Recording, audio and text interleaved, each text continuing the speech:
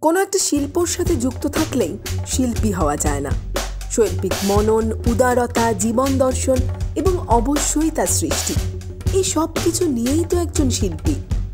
তবে আজ হয়তো বদলাচ্ছে শিল্পীর সংজ্ঞা। কারণ হঠাৎ খুব খারাপ কিছু কথা সোশ্যাল মিডিয়ায় লিখে নিজের শিল্পকে অপমান করেন গায়িকা পরমা ব্যানার্জি। তার মতে গানের জন্য যেমন সুরেলা গলা চাই তেমনি নাচের জন্য স্লিম ফিট বডি আর এখানেই শেষ নয়। এরপর তিনি খুব কদর্য ভাষায় লেখেন থপ থপ করে চর্বিওয়ালা থলথলে বডি নিয়ে হাত নাড়ালে সেটা যাই হোক, খুব কুচ্ছিত লাগে।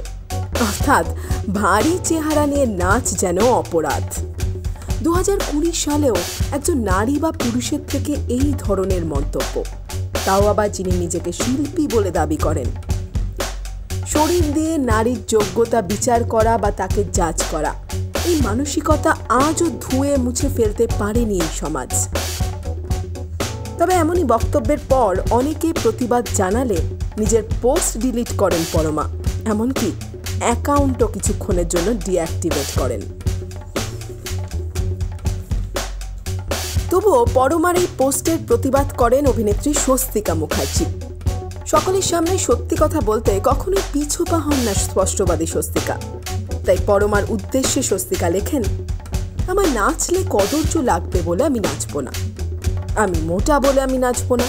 আমার ভালো দেখতে নয়, তাই আমি ছবি তুলব না।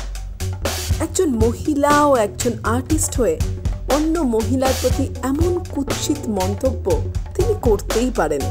কারণ কথা বলার জন্য অ্যাস্থেটিক্সের প্রয়োজন হয় না। বাকি সব কিছুর জন্য হয়।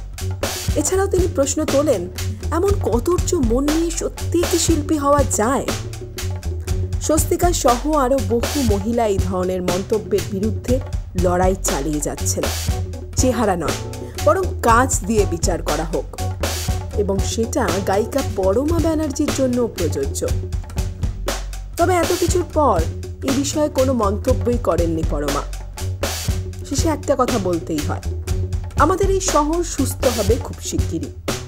কিন্তু এই অসুস্থ মানসিকতা, তা নির্মূল হতে আর কত দিন, কত মাস, কত বছর? এই প্রশ্নই এখন সকলের মনে।